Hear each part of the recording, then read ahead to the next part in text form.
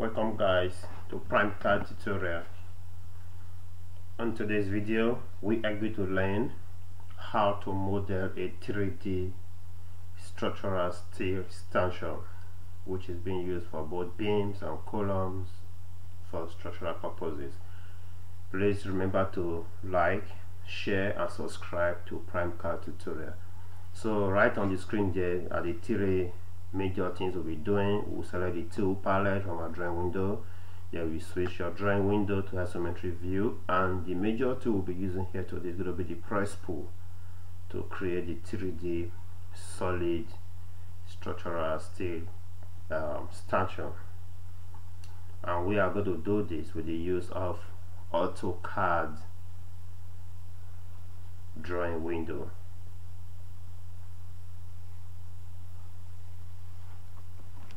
so guys let's get started.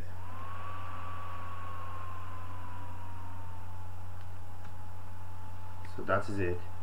First on your drawing uh, window just type in tool palette at the bottom bar of your drawing menu. It pops up automatically then you click on it. Then when it comes on the right side of your screen select either the impera or the matrix or the impera or the matrix uh, structural stanchion so in this method you don't need to start drawing it manually. It's already there on the drawing template in the AutoCAD uh, window. So right there it just comes straight. Once you click on it that is it on the screen.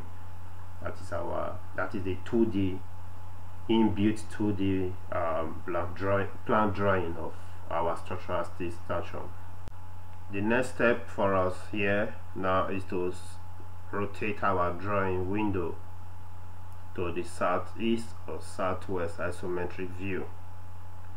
Having when we do that um, then the next thing we need to do uh, we'll go to the press pull button. You select the press pull then you highlight on the object. Yeah that is it right? As it's been shown on the screen then then you select the distance for me I'm going to use a default of 700 millimeters my distance. So you can also choose a specific one you fly to use it. Then uh, you right there have to get the shaded portion of our 3d shape which is out already on the screen right there. So having done this step? That is our 3d stanchion which we've just produced here seamlessly without any stress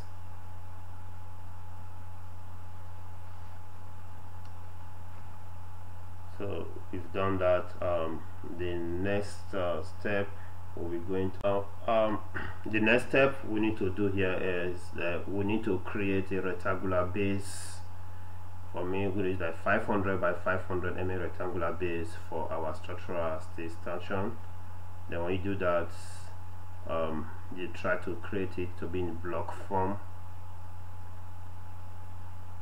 see that in that process is really not going to give us what we need. So select the object press view on your drawing window then the block menu pops up. Just give it a name just name minus one that is done. So having in that way I can easily press pull it so a height of maybe within 20 mm thickness for the base plate. This is actually going to give us like having a base plate for our structural steel so that is done. Take it back to the wireframe. Now we are back to our wireframe drawing drawing session then what we need to do here before you move this thing station to where the uh, base plate is try to introduce a reference line. Because at this point you may find it difficult to get the center point of your stanchion so introduce a reference line to cut across the section maybe section the section view a section plan of your steel stanchion you do that and you're also going to remember I'm going to do same for also the base plate also. And you're going to be not at the bottom side of the base plate but at the top side of the base plate so please remember if you are watching this lecture try to remember hit the red subscribe button and also tap the bell notification icon for more videos. So we've done that then uh, the next thing to do uh, you see now right now we cannot put it there because we are not trying to get a good reference. Out so just put it aside as I said earlier. Then introduce you can try introduce a line across. Okay that's fine. So then this point you we are going to move our stitch stanchion now. Get a center point from there then move it to the center point of our base plate that is it. So in that case you just clean up the unwanted lines out of it. So having done that? If you want you can actually decide to move the plan base to where the 3d object is. So that is it so next we take it back to the solid form. Now we have our complete 3d view of our base plates. So this is the 3d view for our structural steel stanchion sitting on the steel base plate of 20 millimeter thickness.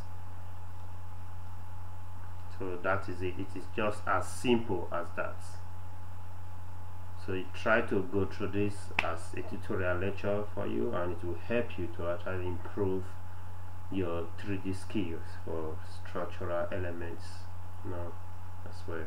So guys try as much as possible. Remember to subscribe to our youtube channel prime cards tutorial and also share our videos on different social media platforms and also like our video as well and also put your comments on in any area in which you may need clarity of what we do here. So thank you for your time and in our next video we will be teaching you on how to make a steel stanchion. Stay tuned